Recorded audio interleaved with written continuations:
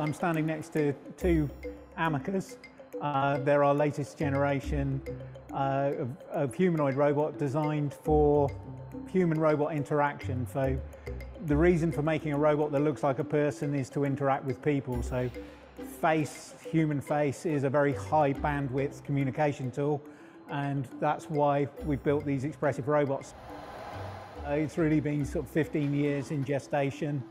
It's got a very different look on the on the outside, so we've gone for something. We've tried to be gender neutral, race neutral. We're just trying to make something that has the basic human characteristics, expression, without uh, putting anything else on top of that.